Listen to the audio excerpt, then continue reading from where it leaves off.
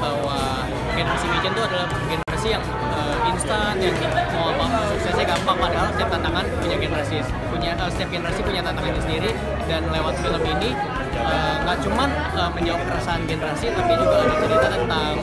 saya Kevin yang di sini sekelas berempat gimana caranya biar tahun terakhir kita berkesan menjawab keresahan